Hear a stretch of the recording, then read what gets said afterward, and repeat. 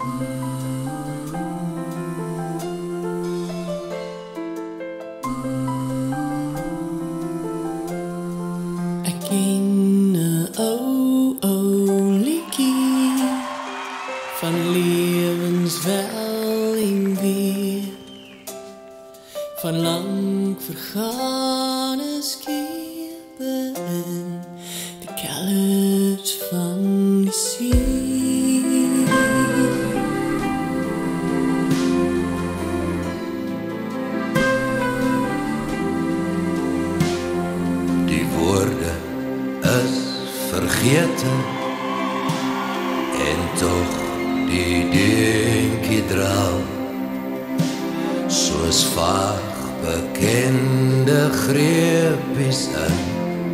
'n baie ou verhaal. Van swerwers sonder rigting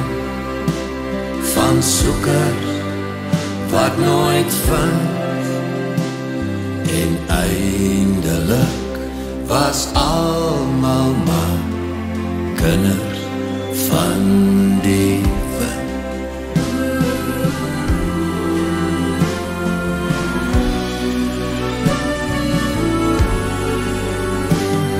gesigte drome name is deur die wind verwaai en waarheen al die woorde is sou net 'n kind wou ry van swerwe sonder rigting van soeker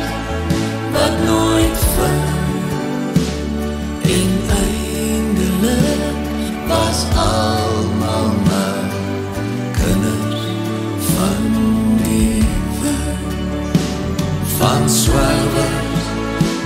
sonder rigting van soekers wat nooit vind en eindelik was almal maar